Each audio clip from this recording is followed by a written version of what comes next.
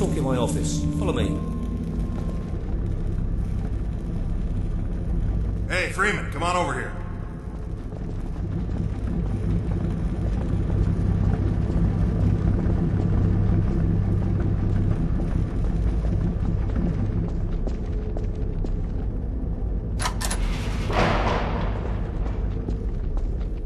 I can handle the truth, Doc.